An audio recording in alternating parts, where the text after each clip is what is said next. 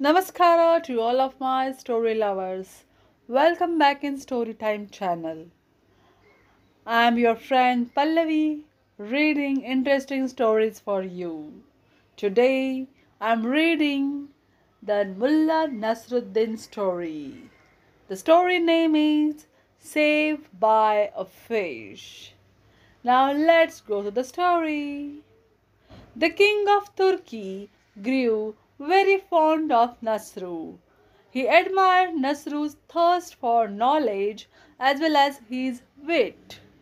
One day, the king called Nasru and said, Mullah Nasruddin, I would like to send you on a mission to find out what true wisdom is all about. I want you to visit the mystical land of India there are a lot of spiritual men and gurus in India. They will definitely be able to help you find out about wisdom.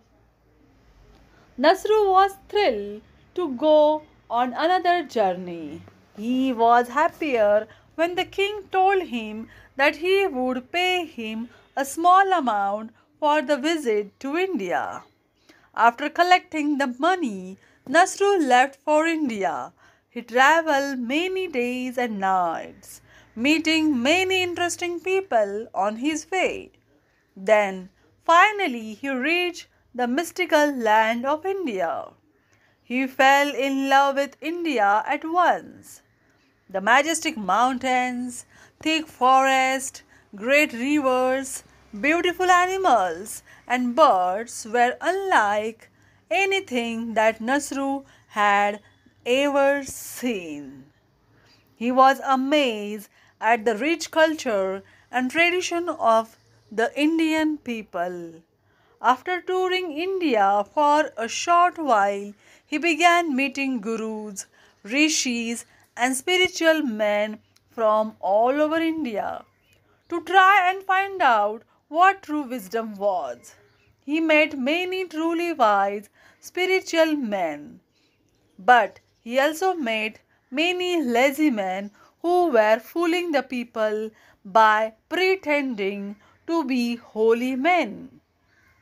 One day, while walking through a forest in India, Nasru met a rishi. To his surprise, he found that the rishi had asked the villager to visit him once a week and bring him the choicest of food. He had told the villagers that if they did not bring him food, he would put a curse on them.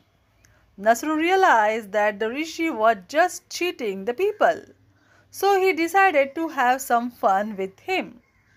Nasru walked up to the rishi who was pretending to meditate.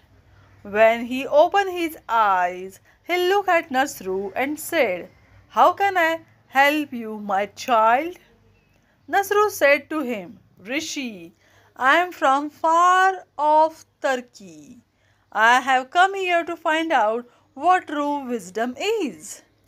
Tell me more about your belief so that I may understand. The Rishi was very happy for the thought that Nasru would become his follower. With a booming voice, he said, Life is an unending circle.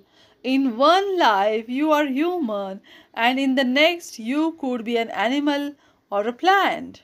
Nasru pretended to look surprised. He said to Rishi, That's so true, O Holy One. In fact, I was saved by a fish. Rishi opened his eyes wide and said, What? A fish? Tell me how that happened. I want to know. The Rishi had the habit of collecting stories from the people and then telling them as if they were his own. He thought that Nasru had an amazing story for him. Nasru replied, One day while I was traveling through a lonely forest, I got lost. For many days I wandered without food or water. Then, just as I was About to die, I found a lake. With my last bit of energy, I managed to get near the lake. The Rishi was eager to find out what happened, so interrupted Nasru saying, What happened? Tell me, did you fall into the lake? Did a magical talking fish come out and save you? Did the fish become a god? Nasru began to laugh. He said, No, no, no, no, Rishi. I went to the lake and caught a fish, fried it, and ate it. If it wasn't for the fish, I would be dead by now.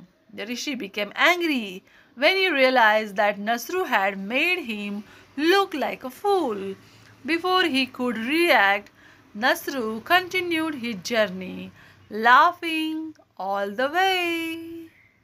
Do you like this story? Then tell me in the comment box and subscribe our channel. Thanks for watching.